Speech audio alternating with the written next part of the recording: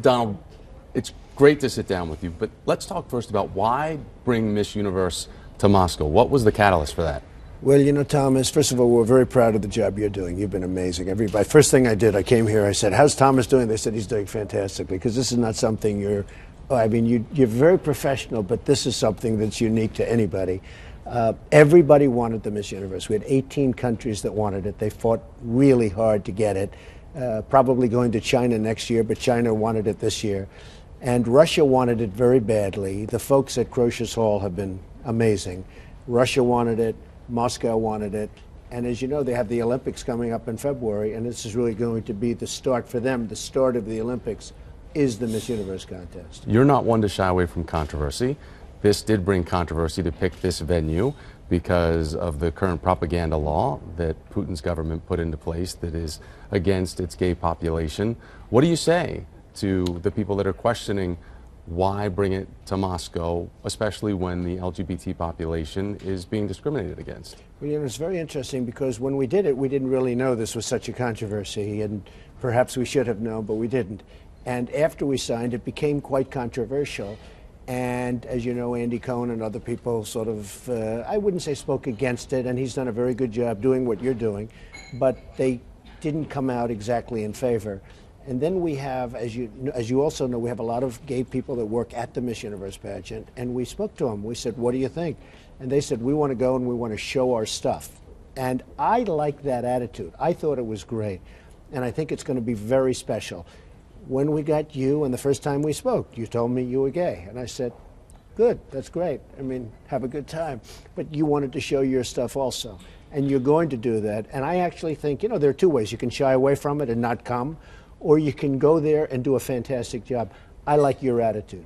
So, what does this mean about your politics back at home when it comes to marriage equality or, say, the Employment Non Discrimination Act that just passed the Senate? Do you think that entrenched homophobia is a problem not only in our home country but internationally? And how would you try to say that? Because right now you're in Russia and you're saying, right. you know, that we support equality and you're against the discrimination here, but back at home it's a different stance. Well, I think really what you have is a very interesting stance, and it's a changing stance, and you see it changing very rapidly. If you go back 10 years ago, it's a lot different than it is today. The president was against gay marriage, and now he's in favor of gay marriage, and you have many people changing. Uh, I think that it's an evolving process, Thomas, and it is evolving very quickly. Now, obviously, the United States is far ahead of Russia in terms of what you're talking about but it is very much evolving, and I think probably evolving to the point where you're becoming a lot more comfortable with it.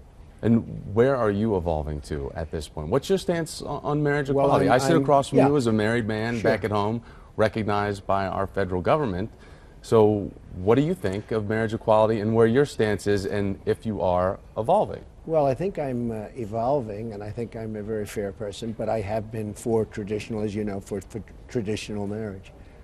And so when we're at that spectrum of evolving, right. where would you put yourself from 1 to 10? So 10's fully well, evolved. You're know, President I, I Obama. Think, You've evolved. 10, well, I don't know if he's fully evolved. We'll see if he's fully evolved. But, uh, you know, I'm, I'm sort of probably a little bit in the middle. I mean, you know, I, I am for traditional marriage. I'm for marriage between a man and a woman. And uh, I've been that for, you know, that's, that's where, that, that's the way. Can it change? I don't know. But my stance right now is traditional marriage. Okay. So when we talk about uh, what the current politics are back at home, we know that there is a, a tense relationship between President Obama and Vladimir Putin, especially when it comes to world stage issues. Do you have a relationship with Vladimir Putin, a conversational relationship, or anything that you feel you have sway or influence over his government? I do have a relationship, and I can tell you that he's very interested in what we're doing here today. He's probably very interested in what you and I are saying today, and I'm sure he's going to be seeing it in some form. But I do have a relationship with him, and I think uh, it's very interesting to see what's happened. I mean, look, he's done a very brilliant job in terms of what he represents and who he's representing. If you look at what he's done with Syria, if you look at so many of the different things, he has really eaten our president's lunch. Let's not kid ourselves. He's done an amazing job. He's put himself really, as you know, a lot of people would say he's put himself at the forefront of the world as a leader in a short period of time. Now, in all fairness to Obama, I think that he's done the same thing with Bush, with President Bush. I think that uh, Putin has done an amazing job of showing certain leadership that our people have not been able to match. When it comes to politics in general, do you really have political ambitions for yourself, or do you just like to run the the the the, the hotline of staying involved politically, but maybe not actually running for office? Because there was a rumor that maybe you were thinking about running for New York governor. Well, that was a rumor that I immediately quelched. Uh, there was a not only a rumor. I mean, everybody wants me to do it and wanted me to do it, but I had no interest in that, and I told them that.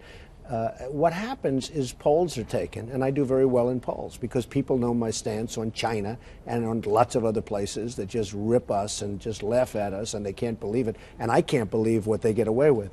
And I have great respect for all leaders but I can't believe what their leaders get away with with respect to the United States because they are really taking advantage of our country. And people hear this and other things that I have to say, and I think they like it. So it's not me, it's they go out and they talk to people and they'd like to see me run. And, you know, to be honest, the question was just asked, and was asked many times today at the Miss Universe contest. They're saying, Would you run? And it's just too soon to say because we have a big election coming, as you know very well. You covered it very nicely in 2014 and we'll see what happens. What do you think about the Republican brand right now back at home? Well, I think it was badly hurt, and I think it was. Uh, I, I, think it's very disunited. I, if they were together, they could have gotten something, and maybe something very good. But you have two factions, and it's very disunited and really trouble. I will say this, however President Obama has got to do something with his website and Obamacare because that is absolutely hurting him so badly. I mean, what's going on with the website that cost $635 million? I have many, many websites all over. They're tremendous, whether it's Doral Hotel or the old post office or Trump Tower, they're great. I don't spend 635 million. I don't spend a million. I don't spend anything for websites. They spend 635 million dollars on a website that is totally a mess to a Canadian company, et cetera, et cetera. I do think this. I think that's had the worst impact on the president of almost anything. I mean, lots of problems, but that's had the worst impact. He's got to get that straightened out, or I really think, I actually think it will be devastating for the Democratic for the Democratic Party come uh, 14. It's going to be a very interesting time. It certainly gives something for Republicans to unite around, and as you say, to redefine their brand. So, well, they are. By the way, they are very united around Obamacare, but they're not I mean, you have such different and such mm-hmm. divergent mm-hmm. views. But I think if they don't get that fixed, if they don't get Obamacare going, and I'm not a fan of Obamacare, but if they don't get it going, that will be devastating for the Democrats.